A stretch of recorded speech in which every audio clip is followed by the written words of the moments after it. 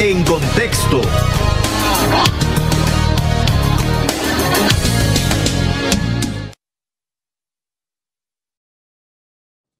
Y a nivel de noticias, ¿de qué está hablando el país y el mundo? José Cardosa nos informa. El Ministerio de Gobernación de la dictadura canceló la personalidad jurídica y registro al Instituto Centroamericano de Administración de Empresas INCAE, señalándolo de incumplir las leyes que lo regulan. Desde hora de la mañana la policía sandinista hizo presencia y se tomó las instalaciones, requisando a transeúntes y a quienes deseaban ingresar. El INCAE fue sede del segundo diálogo nacional en 2019, que dejó como único resultado la excarcelación de secuestrados políticos.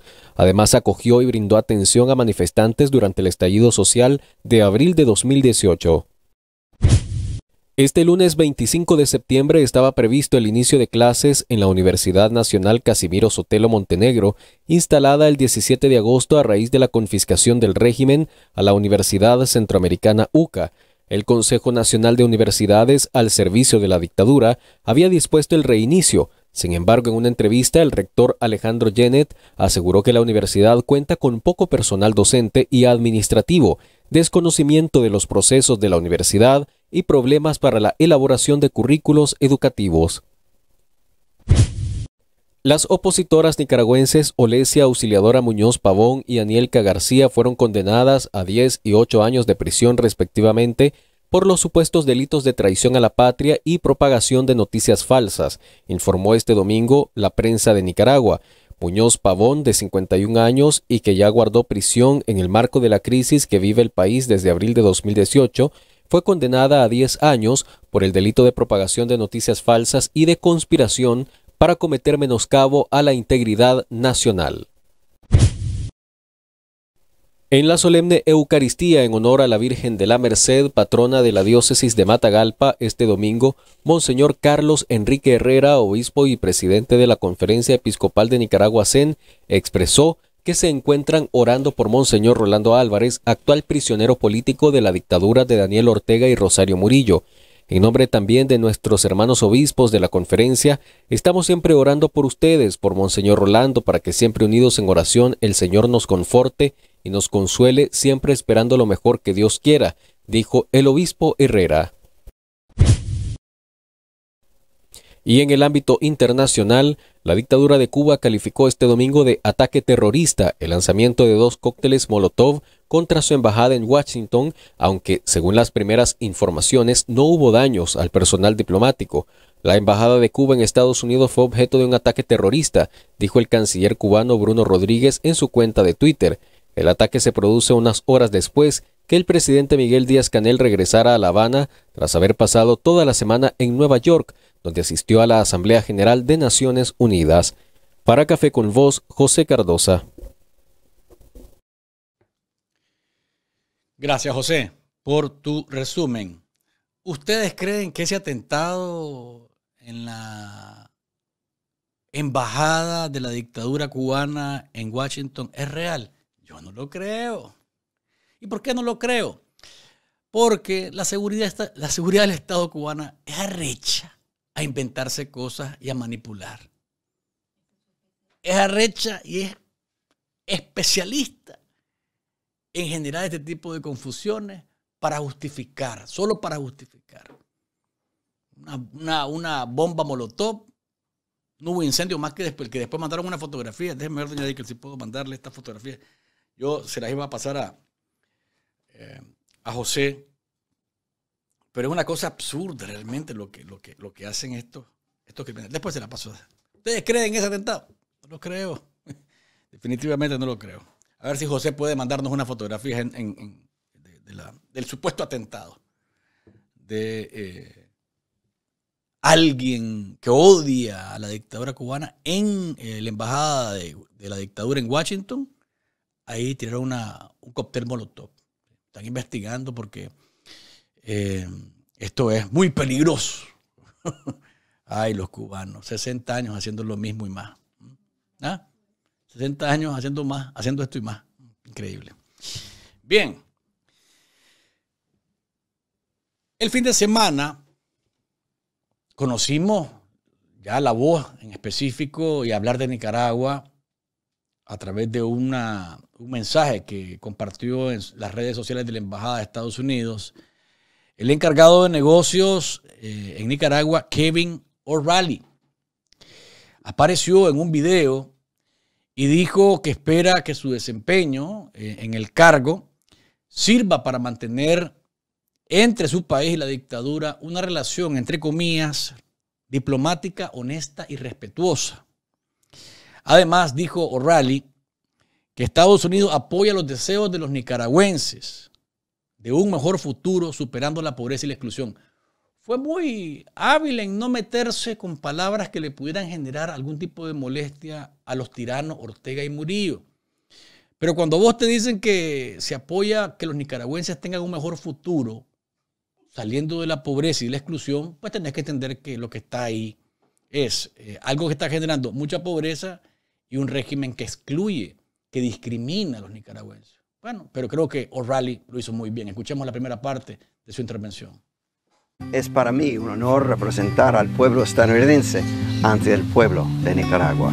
Asumo mis responsabilidades con entusiasmo una virtud tan valiosa como necesaria para fortalecer los lazos entre nuestras sociedades y para mantener una relación diplomática honesta y siempre respetuosa entre nuestras naciones. Estados Unidos apoya y apoyará a los nicaragüenses en sus esfuerzos por llevar a su país hacia un futuro más sustentable, resiliente, equitativo para toda su gente, superando la pobreza y la exclusión. O'Reilly añadió que su país se ha consolidado como el primer socio comercial eh, de Managua, es decir, de, los nicaragüenses. Veamos esta parte del vídeo y después daré algunos datos que sustentan la afirmación del encargado de negocios de Estados Unidos, que está en lugar de un embajador y parece va a estar eh, de encargado de negocios en representación de Estados Unidos por mucho, mucho tiempo. Hoy en día, Estados Unidos es para Nicaragua el socio comercial más importante del mundo, una relación que beneficia tanto a estadounidenses como nicaragüenses. Nuestras fuertes relaciones humanas y culturales nos unen. Siempre cuando trabajemos juntos con respeto y en amistad, prosperaremos y podremos fortalecer nuestras relaciones para el beneficio de todos beneficio de todo. Solamente para que tengan ustedes una, idea de que esta afirmación es, absolutamente cierta. Nicaragua depende de que Estados Unidos le compre el 60%, el 60,8% de sus exportaciones. Yo cuando digo a Ortega despotricando y diciendo estupideces en, en plaza pública, yo digo, y este tarado, este imbécil que tenemos ahí usurpando el poder en Nicaragua, no se da cuenta que si en algún momento se le ocurriera a Estados Unidos, y le voy a decir una cosa, por un mes, decirle, ¿sabes qué? Ninguno de los productos, ninguno de los productos que ustedes envían a Estados Unidos en calidad de exportación, lo vamos a recibir. Dejarían o sea, esa dictadura sentiría que tiembla realmente. Que tiembla. Si por un momento Washington decidiera que el embargo económico que le aplica a Cuba, y que no es un bloqueo, se lo aplica a Nicaragua, te llamabas a Dios, eh, te fuiste, estiste, ni a Dios dijiste.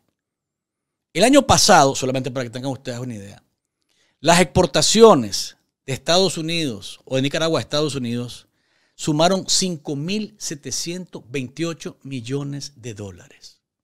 ¿Saben cuántos fueron las de China? 35. No, no, oiga bien.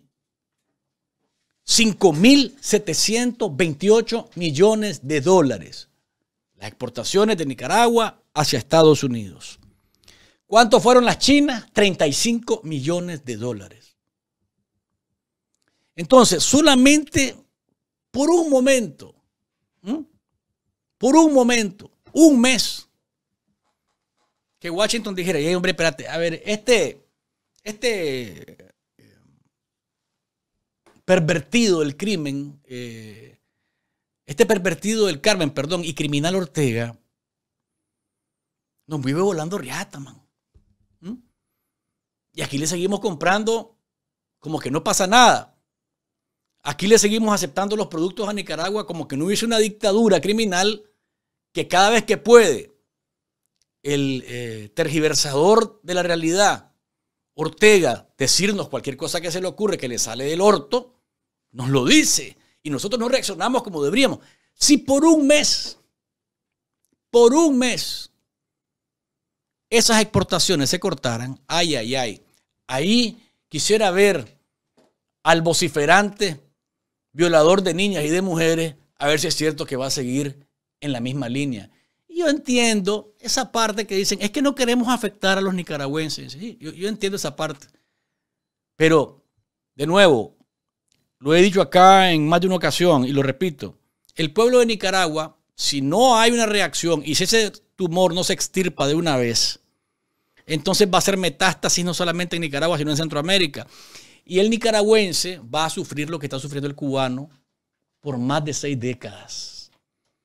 5.728 millones. Y eh, el TLC con China y que viene la, toda, esa, toda esa panacea, como la quieren vender a China, le ha significado a Nicaragua solamente el año pasado 35 millones de dólares. ¿Será que se, será que se van a voltear en algún momento los papeles? Eso no va a ocurrir. No va a ocurrir porque lo que Nicaragua le vende a Estados Unidos se consume en Estados Unidos. Es una cultura más o menos similar en, en, en temas de producto culinario, en temas de productos de ensamblaje de vehículos, por ejemplo, y demás. En temas de zonas francas también. Aquí es el gran mercado de la zona franca. Entonces, cuando uno mira a Ortega vociferando, ¿verdad? Y, diciendo estupideces y, ladrando eh, desde una eh, plaza pública, entonces uno dice, hombre, si por un momento, un mes nada más, le dijeran ni un centavo de exportaciones, ahí me gustaría ver al vetusto, si es cierto, que tiene el hocico para, para seguir ladrando. Doña Dickel, ¿me quiere decir algo?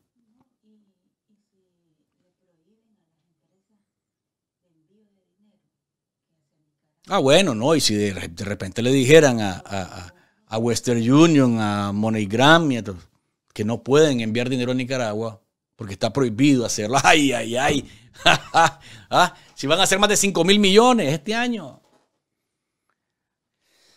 Pero me parece que el énfasis que hace eh, el encargado de negocios de Estados Unidos en Managua, Kevin Michael O'Reilly, es acertado para que la gente siga viendo que, a ver, en importaciones, ¿cuánto es importaciones? a ver, Estados Unidos representa un tercio de las importaciones nicaragüenses. Y, como le, dije, el 60.8% de las exportaciones.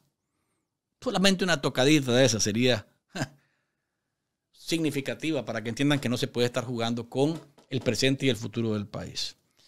Recuerde que su sonrisa debe cuidarla y allá en el consultorio, el doctor Maxwell Cárdenas en Sweetwater Dental Clinic están esperándole para que su dentadura esté sana, esté limpia, esté reluciente y usted la pueda mostrar siempre, siempre orgulloso, orgulloso de mostrar su sonrisa y decir, sabes, la tengo nítida porque me la atienden en Sweetwater Dental Clinic. 305-223-7766 es el teléfono y recuerde la dirección es 10500 West Flagler acá en el sur de la Florida. También el fin de semana el presidente de Chile, Gabriel Boric, otra vez aprovechó un espacio público y esta vez le tocó en la OEA, en donde estaban rememorando a Salvador Allende y el golpe de Estado, para apelar por los derechos humanos en Nicaragua.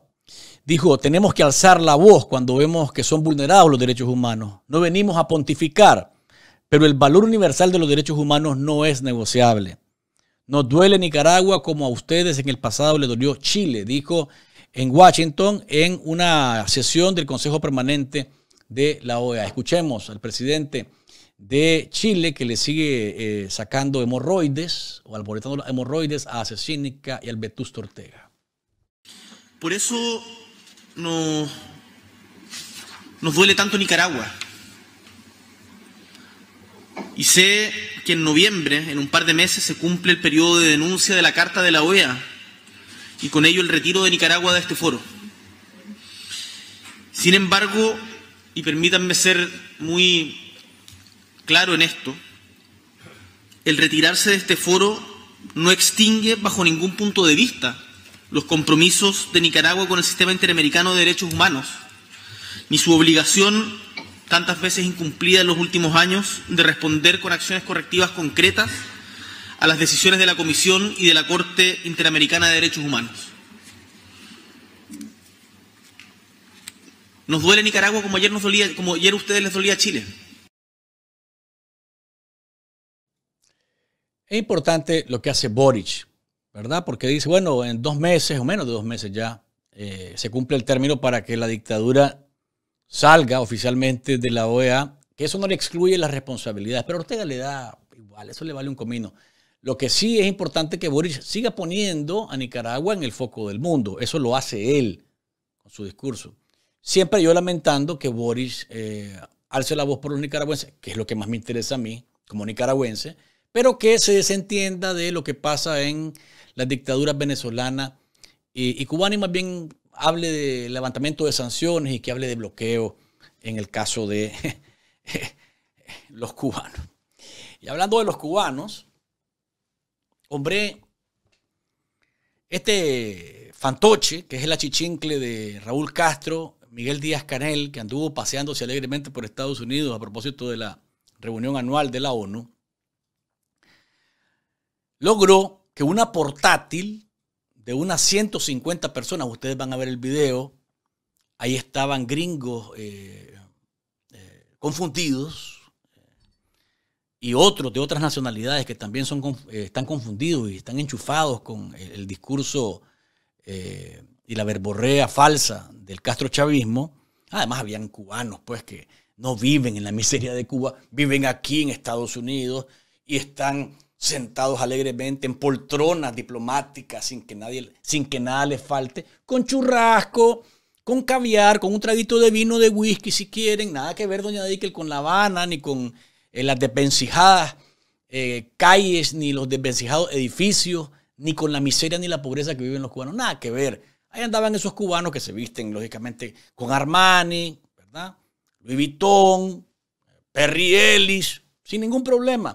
Fuman eh, Malboro, se perfuman con Paco Rabanne o con cualquier em, perfume de esos que, de los que ocupan las personas pudientes. Eso no se puede hacer en Cuba. Pero bueno, una portátil de unas 150, 200 personas Ahí en Nueva York comenzaron a armar el show gritando eh, Cuba sí, bloqueo no, Cuba sí, bloqueo no, Cuba sí, bloqueo no. Llegó hasta donde estaba esa portátil em, Díaz Canel y se cree, él se cree el teatro, él sabe que él y eh, esa dictadura mohosa, añeja y criminal es detestada por la gente que ama la libertad. Pero él llega ahí y cree que esa, esa portátil es el mundo que lo está aclamando. Vean ustedes el momento.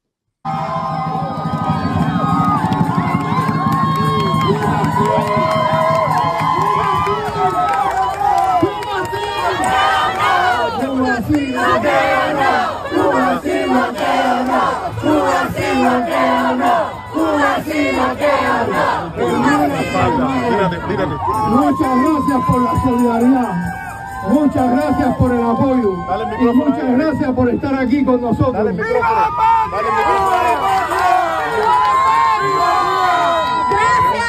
Cuba por ser un ejemplo de lo que una sociedad humanista con valores revolucionarios debe de ser.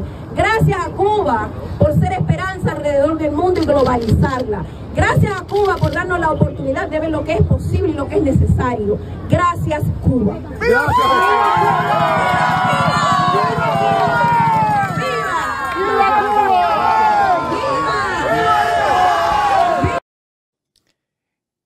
Increíble, ¿no? Díaz Canel se cree el teatro, sabe que es una portátil armada con la mayoría de los que están ahí extranjeros, ustedes los pueden ver, otros que no son cubanos ni tienen ni idea de lo que es vivir en Cuba, Y esta mujer que habla con él y que le dice que Cuba, es un ejemplo de lo que es una sociedad humanista y con valores revolucionarios. El humanismo es lo que menos hay en Cuba. Hay una miseria profunda, una pobreza extrema. Y el humanismo eh, sí es el que eh, Díaz Canel ordenó cuando dijo, vamos a la runga, a la calle, a garrotear a todo el mundo el 11 de julio del 2021. ¿eh? ¿Se acuerdan?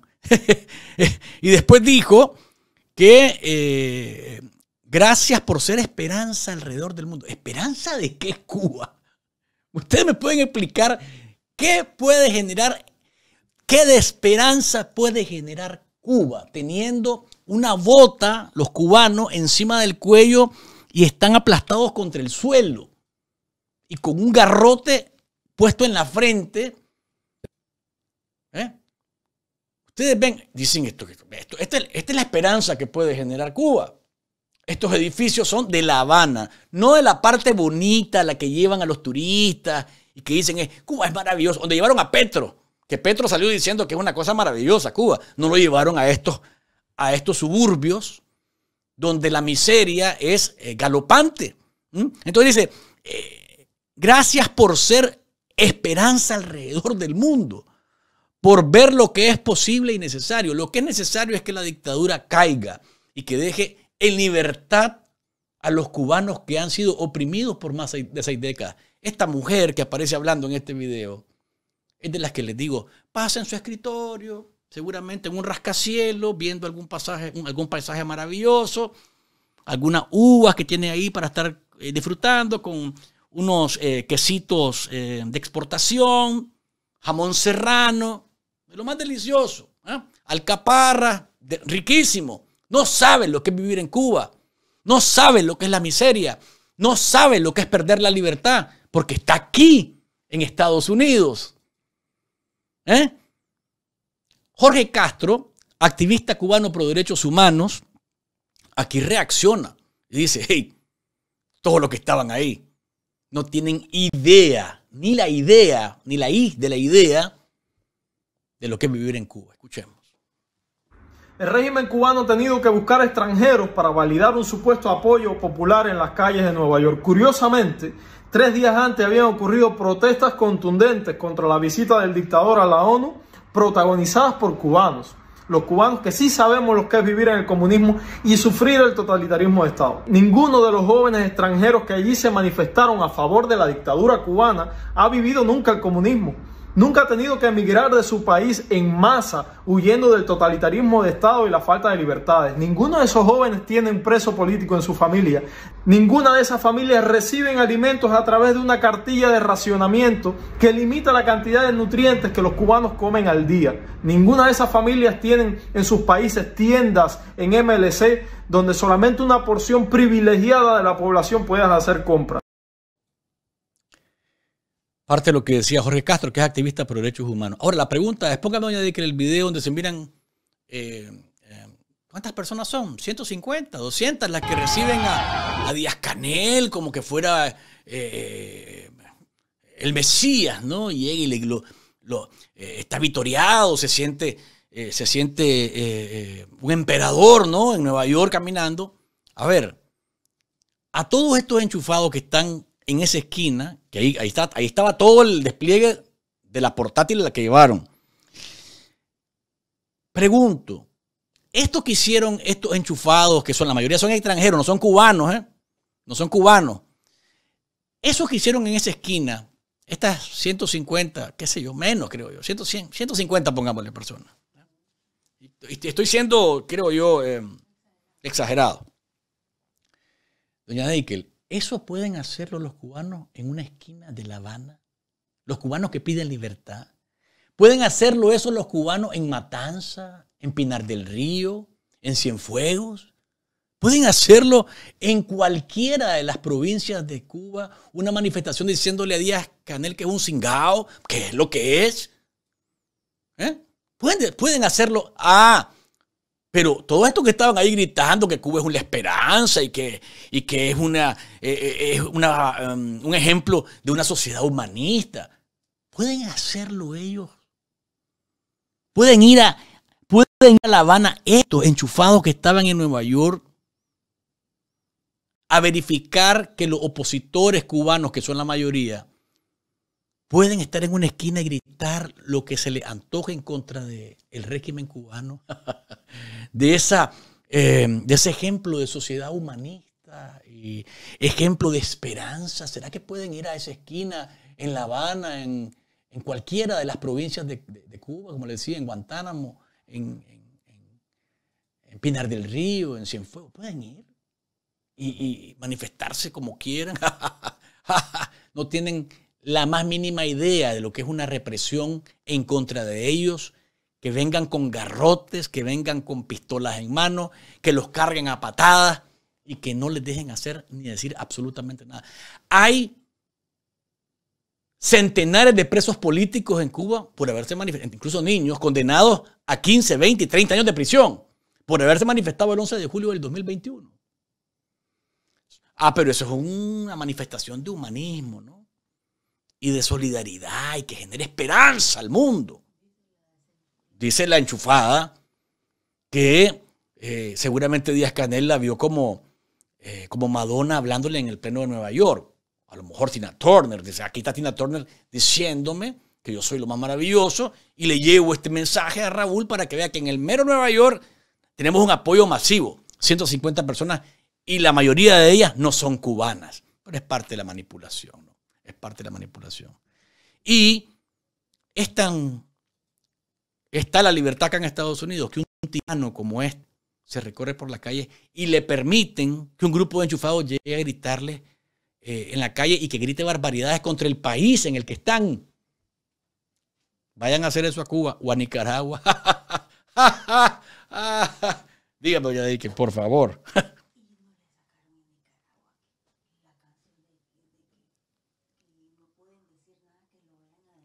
Afuera, afuera, digan lo que quieran.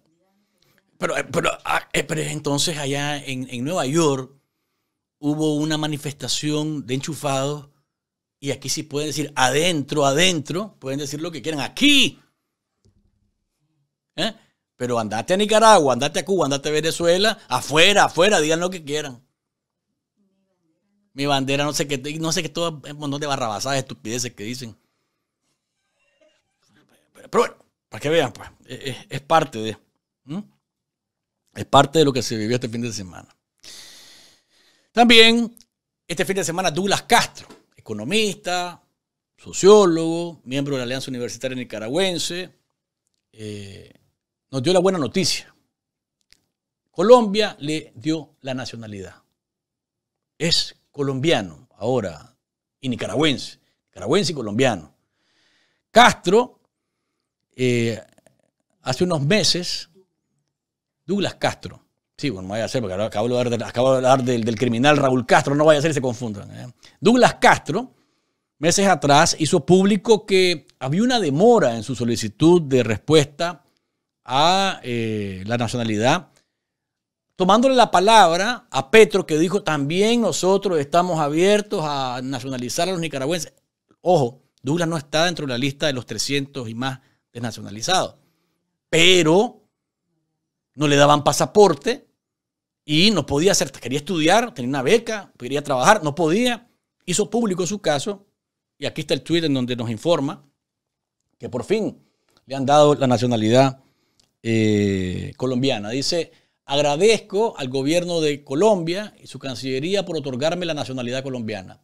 La solidaridad internacional es un faro de esperanza en momentos oscuros la protección internacional es un rayo de luz, especialmente para nosotros, los exiliados y apátridas. Y en el segundo eh, parte del tweet dice, agradezco que Colombia vaya más allá de condenar las violaciones a los derechos humanos del régimen autoritario de Daniel Ortega y brinde protección a quienes huimos de su persecución e intolerancia contra los que pensamos diferente. Es lo que escribió Douglas Castro al informar sobre eh, esta decisión del gobierno de Gustavo Petro de otorgarle la nacionalidad colombiana. A nosotros una entrevista nos dijo, nos querían dejar en el aire, nos querían dejar eh, en el limbo y les ha salido mal. aparte de ser condenados por criminales y por parias, los Ortega Murillo, eh, los países que han otorgado la nacionalidad, en este caso España, es donde, donde más nicaragüenses han obtenido la nacionalidad, y en este caso también eh, Douglas Castro, que obtiene la colombiana, ha habido otros nicaragüenses que han obtenido la chilena, ¿verdad? Y la argentina, pero la mayoría ha sido en eh, España. La colombiana. Yo puedo solicitar la colombiana, yo puedo solicitar la argentina, la mexicana, la chilena la española. Están abiertos ahí para, para recibir nuestra solicitud. Recuerda que Josh Roots Color Bar, Josh Roots Color Bar está esperando que usted se acerque a la 6809 Chimney Rock, allá en la ciudad de Bel Air, en Texas, para que se realice el retoque y refrescamiento del color de su cabello. 6809 Chimney Rock es la dirección. Antes marque el 281-888-5184. No se va a arrepentir de tratar su cabello en, eh, en, el retoque y refrescamiento en el mejor salón que hay allá en la ciudad de Bel Air, en Texas. Cuando vaya a Houston, dígale con quien ande, necesito ir a Just Roots Color Bar, 6809 Chimney Rock. Esa es la dirección. Ponela ahí en el Waze. Vamos a llegar y nos van a atender como nos merecemos. 281-888-5184. Eso es eh, la mejor experiencia. Just Roots Color Bar. También este fin de semana vimos dos realidades. Y hablo de dos realidades relacionadas con eh, la religión católica. Porque en estos días se celebró el Día de la Virgen de la Merced. Una de las vírgenes eh, salió a las calles libre, la otra siguió secuestrada. Y eh, estamos hablando que allá en León, donde el obispo Sapo, René Sándigo eh, se desparrama y se derrite como helado al mediodía eh, con los funcionarios de la dictadura, ahí dieron espacio para que la Virgen de la Merced saliera a las calles y recorriera eh, que, las, avenidas y calles que normalmente visita cuando le permiten. Pero mientras esto ocurría, en Matagalpa se confinó la misma imagen. Para muchos, en la feligresía leonesa, eh, o mejor dicho, unos creen que la feligresía leonesa se unió y que hizo presión para que la Virgen saliera. Yo no creo esto. Yo creo que tiene que ver con la simpatía que hay entre el obispo Cenutrio, Sándigo y la dictadura. Eh, y podrán creer otros, pues, de que es la presión católica, pero entonces deberíamos de decir que en el resto del país ha habido presión también y no hay el mismo resultado nos pasa lo mismo. Ha habido dos, excepciones por la capacidad de dialogar que decía, ¿cómo se llama? Buanerges Carballo, creo que se llama, el, eh, el, párroco de la iglesia de Santo Domingo, creo en la sierrita, es este Buanerges Carballo. Y casualmente la procesión de Santo Domingo que volvió a las calles en Managua y ahora la de la Virgen de la Merced. ¿Me alegra como católico? Sí, me alegra que salga la procesión. Lo que no me es que haya una discriminación con el resto. Porque, por ejemplo, San Francisco de Asís no lo dejaron salir, doña Dikel en Camuapa. No lo dejaron salir. Entonces, vos decís, hay una, hay una discriminación y tiene que ver con las preferencias y con los gustos y con la cercanía que hay entre la dictadura y algunos adláteres con sotana. Sándigo es uno de ellos. En Matagalpa no dejaron salir la, la procesión de la Virgen de la Merced. Tuvieron que quedarse en Matagalpa a lo interno eh, de la iglesia porque el tal Sadra Celedón, que es el delincuente que sancionó Estados Unidos y que hace el papel de alcalde, mandó a poner, doña Dickel, una feria enfrente de la iglesia y toda esa parte estaba cercada en, esas mamarrachadas y respetos que hacen en contra de la Iglesia Católica, en contra de la Iglesia Católica que no les agrada, porque por ejemplo, de nuevo, Sándigo logra que salga la Virgen en León, lo cual nosotros creemos que es correcto, porque así debe ser, pero en el resto del país no hay la capacidad de diálogo, solo en Managua y en León, y en el resto del país no hay capacidad de diálogo de la Iglesia Católica para que todas las manifestaciones salgan en el momento que tienen que salir por la fecha y los calendarios que corresponden, eh, cada uno en su mes y, una vez al año. Pero es parte de la represión, eh, la persecución, el manoseo a la fe católica y el irrespeto a, eh, no solamente a, la tradición, sino a, a, los promesantes, a la gente que lo vive el fervor en lo profundo de su ser. Hay gente que está esperando año con año que el santo salga para pagar una promesa. Y puede ser que va de rodillas, va de rodillas en la procesión pagando la promesa. Porque eso fue lo que, se, lo, que le ofreció al santo a cambio de un favor, a cambio de un milagro. Y van a decir, y ahí pues que lo pague dentro de la iglesia. Es que no se trata de eso, se trata de libertad religiosa. No tiene por qué estar condicionada. Ese es el punto. Cualquier cenutrio dirá eso. Como son arrechos, argumentos estúpidos y sonsos, entonces te salen con eso. Y pues, la promesa la puede pagar en cualquier lugar. No, es que no se trata de eso, baboso. Es que la gente tiene el derecho, primero, la, la Iglesia Católica tiene derecho a que se respete la fe, la tradición y todo lo que tiene que ver con la manifestación y la creencia de, una, de, los católicos en lo que nos corresponde a cada uno. Ah, no, pero es que, que ve qué alegre que son los, estos, sandinistas. ¿eh? En la mayoría de los pueblos, en la mayoría de las, de, las, de, las, de las comarcas, en la mayoría de los departamentos, los municipios, qué alegre Viene la, el tope de los santos en Diriamba o en Ginotepe. Eh. No salen los santos. Ah, pero la bebera de Guaro, ahí está, mano. El hípico, ahí está. ¿Eh? La de Guaro está en lo fino. No, no, no, no, no, parate un momentito. Que no salga el santo no quiere decir que no va a haber fiesta. ¿Qué alegre esto? ¿eh?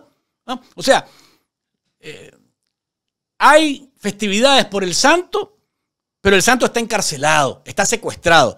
Ah, no, pero los toros sí pueden salir a cornear a la gente. Ah, pero sí puede haber la, barrera de toros, montámela por favor, que no puede faltar. El hípico ni se diga, montame los tordos, montame las carrozas. Y hey, ve qué lindo. O sea, todo lo que es el bacán en la barrera de Guaro, todo se puede. Pero lo de los santos no. Lo de los santos no se puede. No, no, no, no. Solamente en León. Y solamente en Managua privilegiados, ¿no? Y, de nuevo, yo soy de Managua, Santo Domingo, y me alegra muchísimo. Pero no puedo dejar de ver que algo extraño hay porque esa capacidad de diálogo solamente está con Managua, donde hay un silencio sepulcral, ¿verdad? Sobre lo que pasa con la iglesia, y León, en donde Sándigo ha sido manifiesto en si no ser un fanático sandinista, por lo menos ser afín a lo que la dictadura hace y él eh, trata de congraciarse. Es la computadora, hombre. Es la computadora. ¿Han visto los clavos que tiene Hunter Biden acá en Estados Unidos por la computadora? Clavos, pero que tienen al Papa ahora a punto de un juicio político. Entonces, en el caso de Sandy, es la computadora la computadora que se le perdió. Algo tiene esa computadora. ¿Qué será? Solamente Sándigo y la dictadura saben que tiene esa computadora. Pero de que ahí está eh, la cereza de ese pastel, por supuesto que ahí está. No tengo la menor duda de eso. Por, supuesto que es. Lamentablemente que seguimos viendo y siendo testigos de esta situación. A propósito de la Virgen de la Merced, allá en Matagalpa, donde estaba secuestrada, una estaba libre y la otra estaba secuestrada, la de Matagalpa, que es la diócesis del obispo Rolando Álvarez, nominado al premio Sarajo en la Unión Europea, hasta allá llegó el presidente de la conferencia episcopal, Monseñor Carlos Enrique Herrera, que es obispo de Jinotega. Se atrevió milagrosamente, y digo esto no en son de burla, sino milagrosamente porque se atrevió de un paso adelante. Se atrevió en Matagalpa de manera milagrosa a decir el nombre el obispo secuestrado, Monseñor Rolando Álvarez, dice que están orando por él y por todos los sacerdotes y además por toda la iglesia para que el porvenir sea mejor. En nombre también de los hermanos obispos de la conferencia, estamos siempre orando por ustedes, ¿verdad? Monseñor Rolando, que siempre unidos en la oración, el Señor nos conforte, nos consuele siempre esperando lo mejor. Que Dios quiera, pero siempre orando, ¿verdad? Con la esperanza de que el futuro será mejor para todos nosotros. milagrosamente decidió el presidente de la conferencia episcopal mencionar al obispo secuestrado. Ojalá que no lo secuestren a él. Porque lógicamente eh, de un paso adelante. Eso no es sencillo. Y a ver qué pasa porque la dictadura está rabiosa. Están como perros rabiosos con baba en el hocico. Y la mejor muestra es lo que pasó con el INCAE, ¿no? Lo que pasó hoy, lo que nos dimos cuenta hoy. Se robaron el INCAE. Se robaron el INCAE que trabajaba en Nicaragua desde los años 60 del siglo pasado. Se robaron el INCAE, que es una entidad regional, de educación regional y sobre todo con enfoque en, em, en administración de empresas y eh, carreras relacionadas con el mundo de los negocios. El Ministerio de Gobernación de la dictadura emitió eh, en la Gaceta la decisión de cancelar la personería jurídica de eh, el Instituto Centroamericano de Administración de Empresas, INCAE. Aquí tiene usted eh, la Gaceta, señalando que ha incumplido las leyes que lo regulan. Desde hora de la mañana, hoy por la mañana, se miró el despliegue policial en la entrada del INCAE y comenzaron a detener los vehículos, a interrogar a los trabajadores del INCAE, a algunos a retenerlos, a otros a meterlos en miedo. Y estaban requisando tanto a los transeúntes como a quienes estaban eh, entrando y saliendo del lugar. Dice la dictadura a través de gobernación que el INCAE no ha presentado sus estados financieros del 2020, 2021 y 2022 y que detectaron inconsistencias en los estados financieros de los periodos 2015 y 2019. Hombre, deberían de correr a la gente de gobernación, mano. Digo, pues, porque si, si se están dando cuenta hasta ahora de que son deficientes, este, el campo Francisco de Sola no debería pasar a mano de la dictadura porque dicen estos que hay inconsistencias en los estados financieros del 2015 y 2019. Deberían de correr a los que no cumplen con su trabajo. Ah, no, pero es que no, como se trata de una piñata alegre que se están dando, un banquete que se están dando con eh, grandes propiedades. Entonces dice que se incumplieron también los requisitos legales establecidos para la recepción de donaciones y no se registraron como agentes extranjeros. El INCAE agentes extranjeros, Dios mío. Ah. Gobernación de la dictadura asegura que, que de acuerdo a un dictamen legal emitido, un dictamen legal, es un chiste esto, no hay tal dictamen legal, no existe. No es cierto. Dice que el dictamen legal emitido por la Dirección General de Registro y Control de Organismos sin fines de lucro para la cancelación de la personalidad jurídica y de registro, el organismo anteriormente referido incumplió sus obligaciones conforme a lo establecido en, ponen ahí como dos docenas de artículos. Estas imágenes son del INCAE cuando sirvió de sede para la pantomima llamada Diálogo Parte 2, iniciado allá en febrero del 2019. Esto era nada más para ganar tiempo, para hacer el mate, ¿verdad? Que tuvo como resultado la escarcelación de los secuestrados políticos. Pues yo diría que algo de eso podría haber, pero no fue determinante. Esto Ortega lo montó solamente para hacer el mate. Para eso que también ustedes, para hacer la foto y decir que él tenía voluntad de diálogo. Nunca la tuvo en realidad.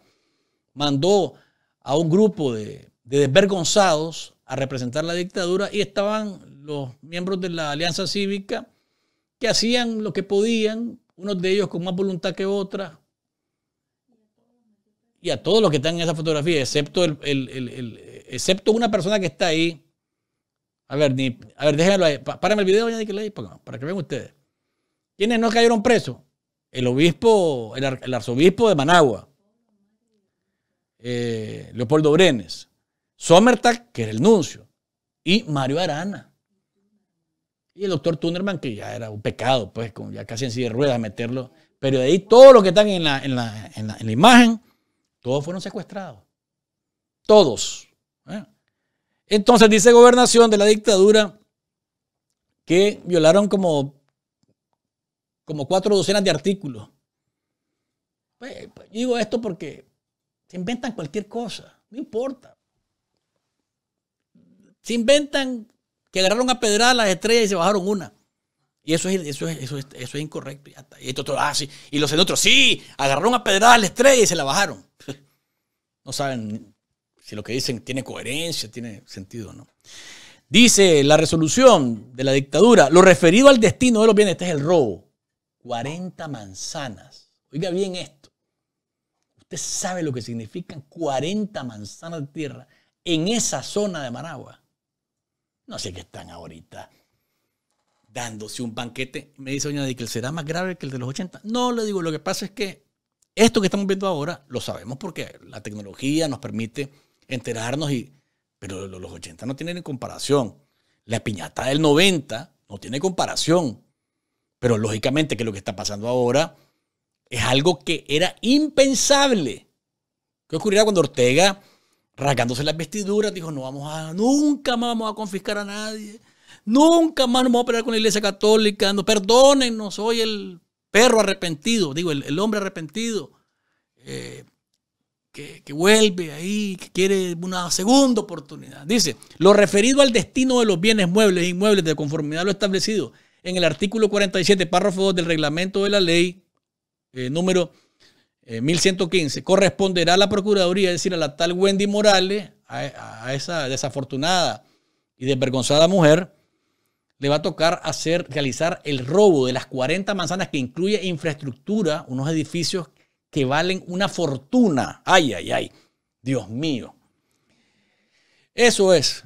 Eso es la infraestructura, pero todo lo demás que está alrededor es terreno valiosísimo que se, van a, se lo van a repartir entre ellos mismos, entre Payito, entre Juan Coca, la Camila, Laureano y varios de los, de los mafiosos más cercanos al anillo de poder de la dictadura. Ahí se van a repartir esas 400.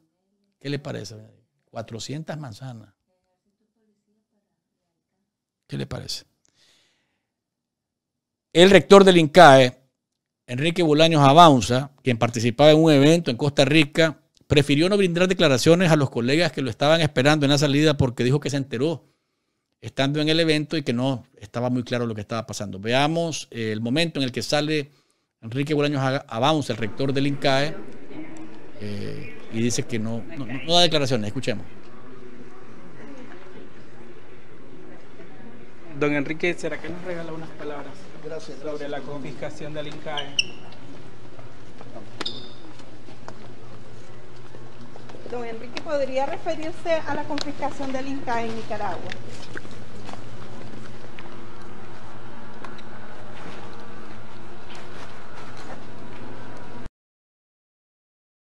es lo que pasó al momento en el que el rector del INCAE salía de esta, de esta actividad. Ahí, estando en la actividad, se dio cuenta de lo que estaba pasando en Managua y no quiso brindar declaraciones. Más adelante, más tarde, hace unas horas, el INCAE emitió un comunicado en el que lamentan la decisión de cerrar el campus en el cual se han graduado más de 4.000 profesionales que le sirven a los nicaragüenses y a otras sociedades de la región. Veamos el comunicado. Dice lo siguiente, con profunda tristeza compartimos a la comunidad incaísta y de todos nuestros donantes y amigos la decisión publicada en la Gaceta Oficial de la República de Nicaragua número 172 del 25 de septiembre del presente año respecto a la cancelación de la personería jurídica del INCAE, exclusivamente en Nicaragua, afectando ahí la operación de nuestro campo Francisco de Sola, parte esencial de nuestra historia y cuna de nuestra institución. A casi 60 años de su fundación, lamentamos profundamente esta situación debido a que en el transcurso de todas estas décadas, INCAE ha sido fiel a su misión de contribuir activamente perdón, en el desarrollo sostenible de Nicaragua y de la región destacándose con una educación transformadora para el fortalecimiento de la economía y del medio ambiente en el campus de Nicaragua. Se han graduado más de 4.000 incaístas. INCAE es una escuela de negocios reconocida y clasificada internacionalmente entre las mejores del mundo, con operaciones en varios países de la región y continuará con su propósito de transformar vidas para un mejor futuro de América Latina desde su campus en Costa Rica y firman Roberto Artavia Loria, que es el presidente del Consejo Directivo, y el rector Enrique Bolaños Abauza. Ese es el comunicado oficial de INCAE que eh, confirma lo que hemos visto durante el día. Doña Di, que le escucho. Dígame.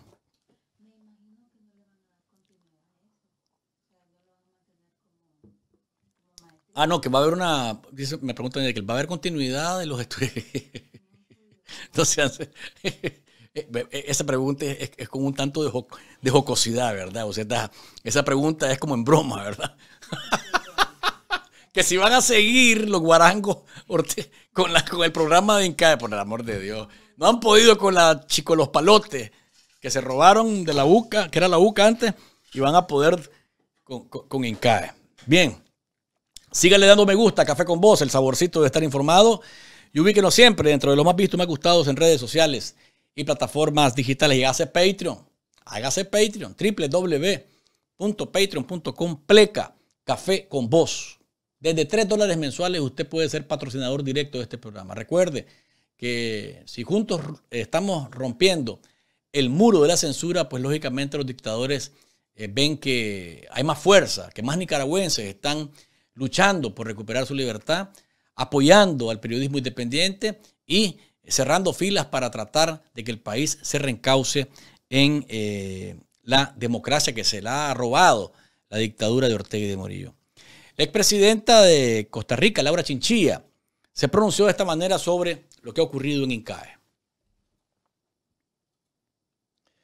En un arrebato más de arbitrariedad e insensatez, el régimen Ortega Murillo cancela personería jurídica de INCAE en Nicaragua y toma sus instalaciones. Al igual que lo ha hecho con miles de perseguidos políticos, Costa Rica seguirá brindando abrigo a la gran institución. Y es que, eh, como decía el comunicado, eh, en Costa Rica están trabajando y van a seguir trabajando. Y CAE nació por una iniciativa del presidente de los Estados Unidos, John F. Kennedy, imagínense, en los años 60.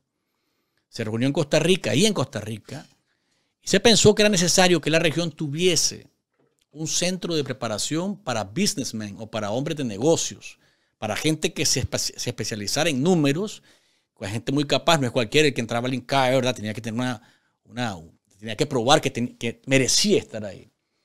Y resulta pues que eh, había trabajado todos estos años sin ningún problema, hasta que ocurrió lo que hoy hemos sabido. Juan Sebastián Chamorro, excarcelado político y desterrado, dice que no hay sorpresa en lo que pasó hoy, porque se trata de la secuencia de tragedias que el mismo Enrique Bolaño Abaunza, el rector de INCAE, había mencionado como eh, eh, actos eh, que van en contra de los intereses de la nación y que generan pobreza. Y esto ha pasado desde la independencia de Centroamérica y particularmente en el caso de Nicaragua.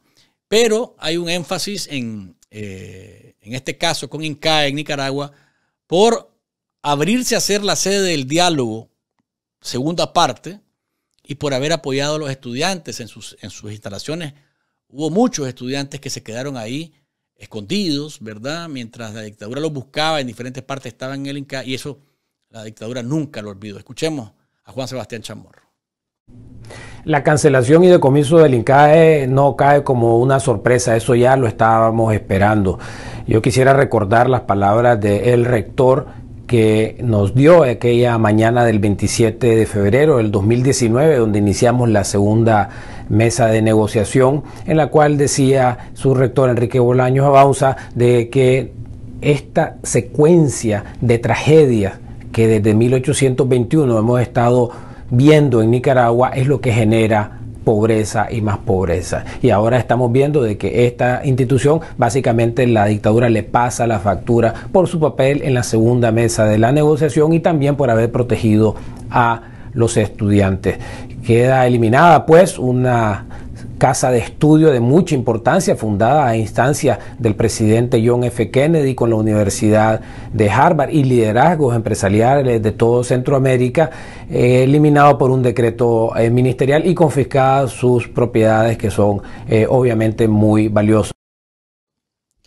Agregó Chamorro que previendo que esta situación venía en camino, INCAI había trasladado la mayoría de sus operaciones a Costa Rica pero la enseñanza, la tecnología que el INCAE ha inculcado en generaciones de empresarios, de ejecutivos, de personas en toda América Latina, ahí está. Y aquí están los resultados de ese capital humano que va a volver a formarse en esa aula en Managua. Afortunadamente el INCAE, tomando previsiones, ya había trasladado parte de su operación o la mayor parte de su operación a Costa Rica, precisamente por todas estas tragedias que mencionaba el rector, y va a continuar trabajando, pero es una barbaridad, un abuso más de la dictadura, una barbarie que se hayan robado el INCAE. Don Aníbal Toruño, director de Radio Darío, también se pronunció sobre lo que ocurrió en INCAE de esta manera en su cuenta de X. Ortega sigue aplanando Nicaragua y cancela la personería jurídica del INCAE. Policías desplegados en las, instalaciones desde esta madrugada. La unidad es urgente. Un solo frente para luchar contra el dictador, eh, indicó eh, don Aníbal Toruño. Y ahí estaba compartiendo la Gaceta, donde decidieron definitivamente que se roban, porque esa es la palabra, se roban el INCAE, se roban el terreno, se roban las instalaciones, porque eso es lo que saben hacer Ortega y Murillo y sus secuaces, robar, robar y robar.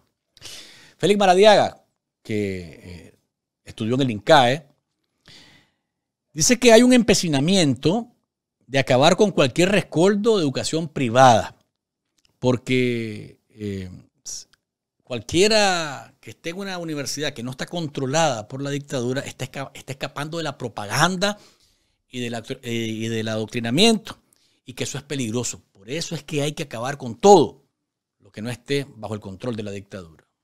Al confiscar universidades privadas, los Ortegas están empecinados en que no quede ningún espacio educativo que no esté alineado con su propaganda. Consideran a las universidades como espacios intelectuales críticos y quieren eliminar cualquier vivero del pensamiento libre. Además que indudablemente también existe un apetito por adueñarse de lo ajeno que es una vieja maña del Frente Sandinista.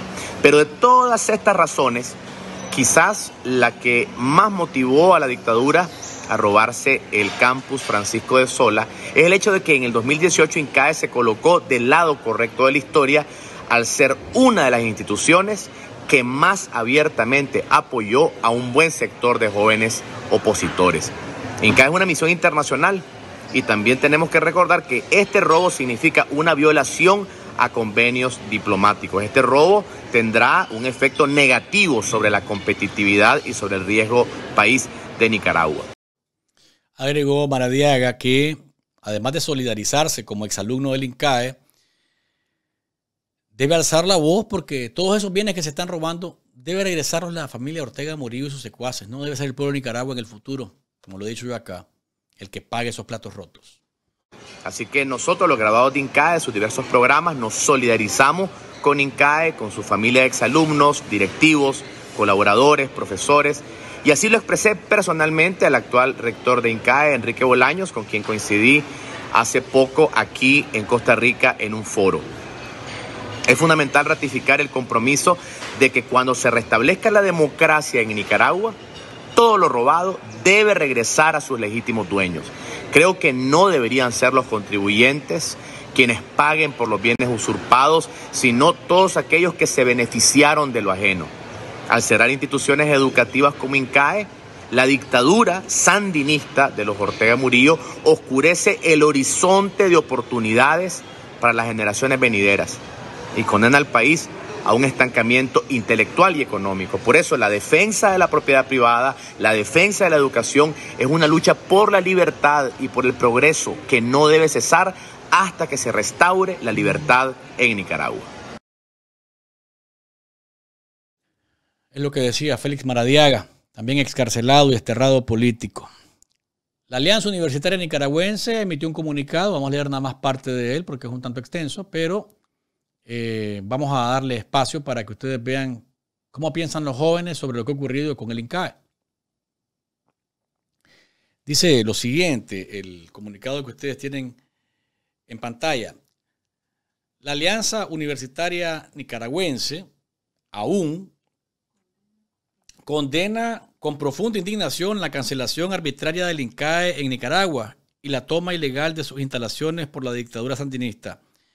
Este ataque a la autonomía universitaria ejecutado por la dictadura Ortega revela un intento calculado de sofocar el pensamiento crítico y la libertad académica, pilares fundamentales de toda sociedad democrática.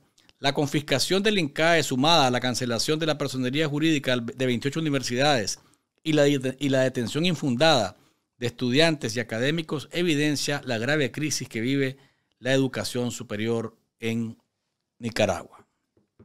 Es parte del comunicado de la Alianza Universitaria Nicaragüense. Alberto Cortés es catedrático en la Universidad de Costa Rica.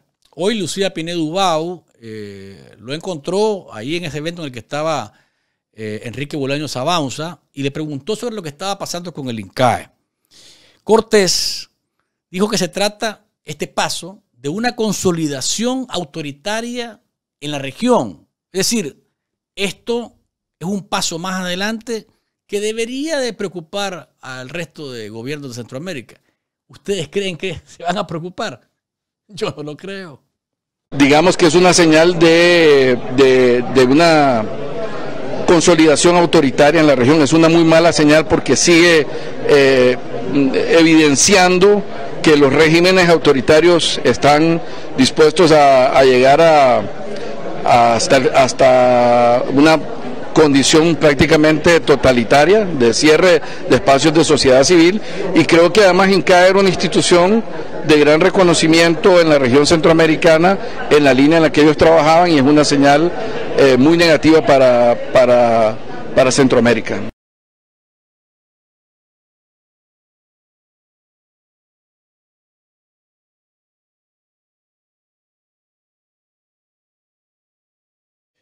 Cortés dijo que tendría que haber una reacción regional a esto que ha ocurrido y que el SICA, el SICA debería de actuar. Escuchémoslo, por favor, y después les comento.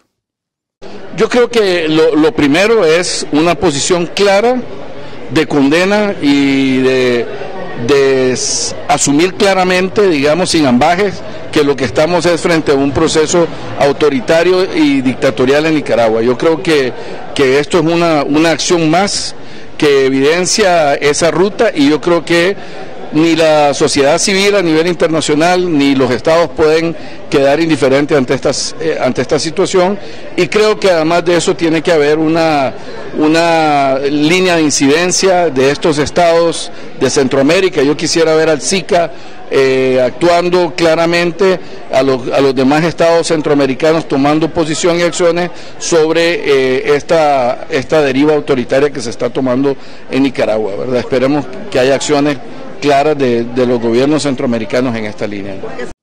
Yo entiendo al señor Cortés porque tiene una intención y un deseo y una ilusión. Nadie se la puede quitar. Pero yo me pongo a reír de esto para no llorar. Porque del SICA no podemos esperar nada, absolutamente nada. Solamente para mencionarles eh, por qué no puedo esperar nada. Por todo lo que ya sabemos que ha ocurrido Werner Vargas es el secretario general del SICA, es el delegado de la dictadura, fue electo dándole un espaldarazo al sistema de integración centroamericana a la dictadura de Nicaragua a través de esa elección. Lo segundo es que el viernes, sí señor, un tal Carlos Guerra, que era, eh, era liberal, pero se convirtió en sandinista porque le corresponde ser un eh, lambiscón, salamero, lisonjero y coprófago de la dictadura, se convirtió en el presidente de la Corte Centroamericana de Justicia. Es decir, Centroamérica nuevamente, doña Deikel y amigos, le da otro espaldarazo a la dictadura para que, ocupe, para que ocupe el máximo cargo de la Corte Centroamericana de Justicia. Algunos me dirán, ¿y para qué sirve eso? Sí, yo creo lo mismo que no sirve para nada, pero al menos en figura y en apariencia uno dice, espérate, la Corte Centroamericana de Justicia está presidida por un delegado de la dictadura de Ortega y de Murillo. Y tercero, y pues de nuevo, yo creo que Alberto Cortés tiene muy buena intención en su respuesta conocida a Pineduao, pero él, pues, su deseo y el nuestro está simplemente imposibilitado. El tercer punto es que el Parlamento Centroamericano, el viernes, decidió que China comunista va a ser observador permanente del Parlacén. Entonces, puedes decir, ¿puedes esperar algo diferente de Centroamérica en relación a Ortega y Murillo? No, no podemos. Y esto debo decirlo con todas las letras. Con el voto de Guatemala, con el voto de El Salvador, con el voto de Honduras, con el voto de Costa Rica, con el voto de Panamá, con el voto de República Dominicana, con el voto de todos ellos. Sí, señor para que sepa cómo anda la cosa. Antes de que ocurriera esta tragedia del INCAE, este correo electrónico eh, invitaba a eh, los nicaragüenses y a los centroamericanos a estudiar en esta casa de estudios. Hola José. Imagina sumergirte en una experiencia de clase modelo en INCAE y guiada por un máster, por un doctor de clase mundial. Estamos emocionados de invitarte a un desafío que pondrá a prueba tus habilidades de liderazgo de una manera única. En este evento virtual podrás analizar el caso Big Data Strategies en convirtiendo el Big Data en Big Value. Con el profesor Arnoldo Rodríguez, director académico de Master in Analytics, Innovation and Technology podrás conocer cómo el método de casos que le damos de Harvard Business School permite desarrollar habilidades como la toma de decisiones, pensamiento crítico y estratégico, entre otras. Regístrate gratuitamente y descubre el programa de ENCAE diseñado para los líderes de la innovación. Te esperamos. Eso, amigos y amigas. Chao, chao. Si te vi, no me acuerdo. La especialidad que te puede dar la dictadura es engarrotear a la gente, en perseguir, en encarcelar, en secuestrar, en robar, lo que, en robarse lo que, lo que tiene a la vista y no le importa, en ser desvergonzado, en ser cínico, delincuentes, ladrones, violadores de niñas y de mujeres, traficantes de armas, traficantes de drogas, lavadores de dinero. Eso es lo que te puede enseñar la dictadura eh, de Ortega y de Vamos a la pausa comercial, amigos televidentes y oyentes. Recuerde que la familia Multiservices de North Miami y de Okeechobee le esperan para taxas personales, corporativos, item number, servicios de inmigración y envío de carga puerta a puerta desde acá hasta Nicaragua. Por favor, resuelva todos sus problemas en un solo lugar. En la familia Multiservices de North Miami y en la nueva oficina que tienen en Okeechobee. Así que ya sabe, Usted se siente en un solo lugar, le sirven sus rosquillas, le sirven su café o su cacao, su cebada, y usted disfruta de un servicio extraordinario en la familia Multiservices North Miami y Okeechobee. Pausa comercial. Sígale dando me gusta Café con Voz, el saborcito de estar informado. Y ubíquenos siempre dentro de los más vistos y más gustados en redes sociales y plataformas digitales. Al regreso está con nosotros el doctor Adrián Mesa, rector de la Universidad Paulo Freire y especialista en temas de educación superior. Ya regresamos.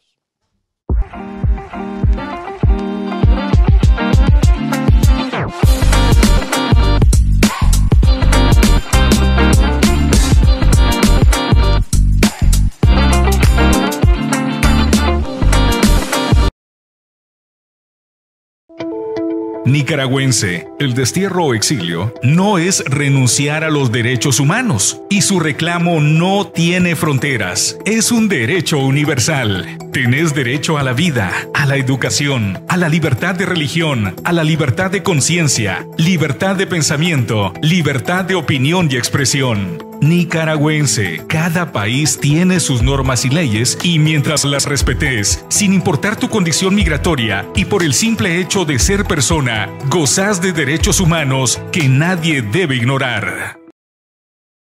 Hola amigo, ¿quieres estar informado? Suscríbete al canal de Café con Voz Nicaragua y toca la campanita, denle like a todos sus programas y recuerden que no hay mañana sin café. Las mañanas son mejores cuando estoy pensando en vos. Cada día es diferente si puedo escuchar tu voz, pero no puede faltar ese ingrediente porque es rico probarlo junto a vos, un buen café. es café con vos, es café con vos.